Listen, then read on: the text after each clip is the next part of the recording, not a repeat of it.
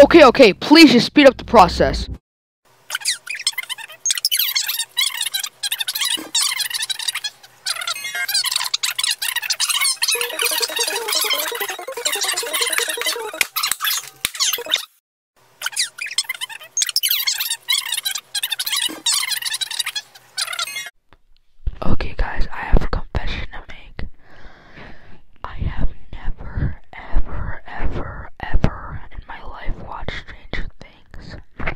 Yeah, I haven't. I'm sorry, guys.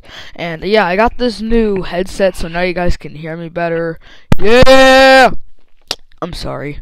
But, um, I have a confession to make. I've never watched Stranger Things. And I've been watching videos about it, and, like, I want to watch it now.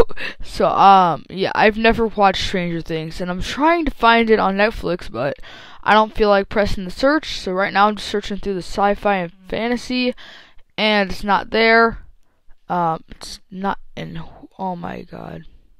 King Batch. Okay, I just found a movie with King Batch. Okay, I'm trying to find Stranger Things. Would it be in um, action and adventure? You guys, I'll be back when I find it, hopefully. I can't find it, so I'm just gonna search it up. At, oh my. Okay, I'm not gonna speed this up because if you guys saw my heat. Oh wow, here it is. You put you just have to put ST. Um, but if you guys saw my um, he tried to roast me exposed video. Um, yeah, the audio messed up. But yeah, I'm gonna be reacting to a little bit of the first episode of Stranger Things because I'd never seen it before. Yeah, let's watch. Okay, guys, so I'm pretty sure this is gonna be a really good show, but okay, let's watch, guys. Okay, I'm pretty sure there's about to be a jump scare. Yeah. Oh, it's from above?